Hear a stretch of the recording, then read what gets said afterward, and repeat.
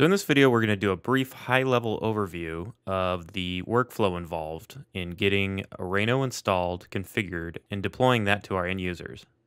So I'm going to start with a network or IT administrator and a Windows-based PC that they wish to install the Oreno Manager software on.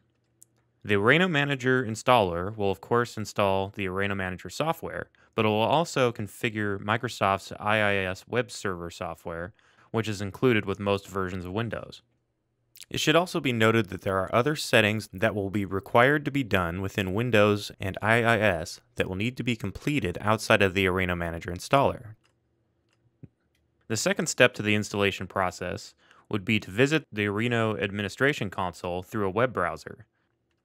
And there they will enter the Oreno Manager license key, set up their administrator account, and optionally they can add designer level users and end users as well. Most importantly, they will need to set the network settings of the Oreno Manager to discover their Tesira systems.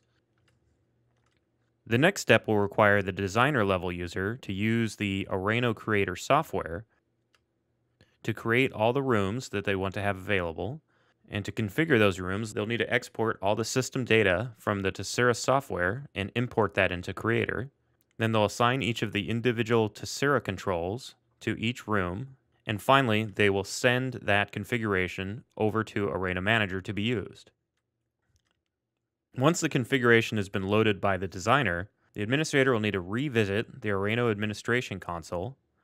They can choose to enable the system in anonymous mode, or they can assign the users to rooms and then set Oreno Manager to be online.